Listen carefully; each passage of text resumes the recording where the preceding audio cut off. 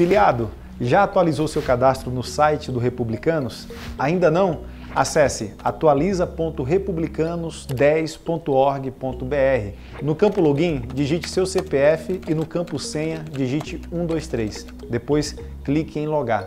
Ao entrar no sistema, para sua segurança, altere a sua senha no campo superior direito, clicando em alterar senha.